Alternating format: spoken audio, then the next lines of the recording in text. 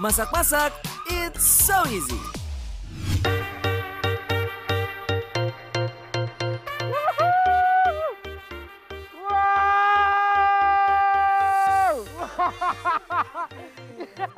Halo Mami, selamat pagi.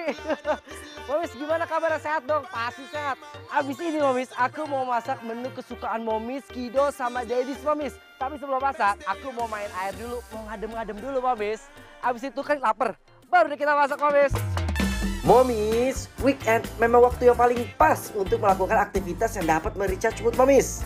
Nah, setelah puas bermain trampolin, mumpung di sini nih, rugi banget kalau nggak main air, Momis. Wah.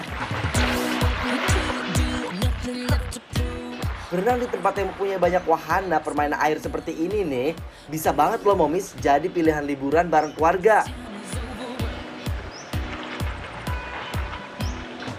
Aduh, Momis, seru banget, Momis. Momis, di tempat kayak gini itu paling enak banget buat liburan bersama keluarga, Momis. Kayak kayak gini loh. Hah, seger banget.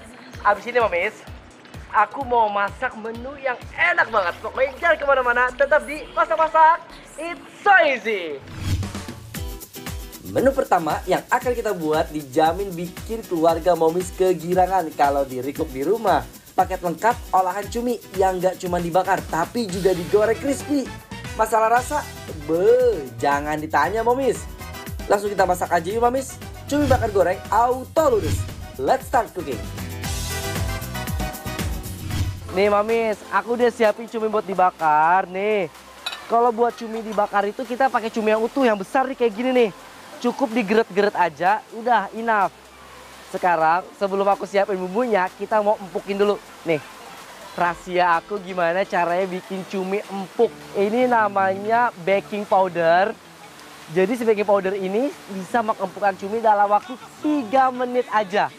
Caranya tinggal kita masukin baking powder kurang lebih satu sendok makan. Nah, kita tambahkan perasan jeruk lemon, Mamis. Biar si baking sodanya ini aktif. Kita tinggal aduk aja. Lemon sama baking soda ini dapat menghilangkan amis juga, Mamis.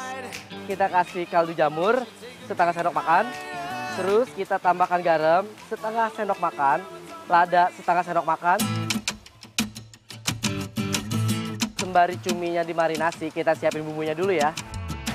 Nah, Mamis, buat bumbu halusnya itu ini tuh terdiri dari ini nih. Ada bawang merah, bawang putih, cabai rawit, cabai merah keriting, cabai besar sama jahe.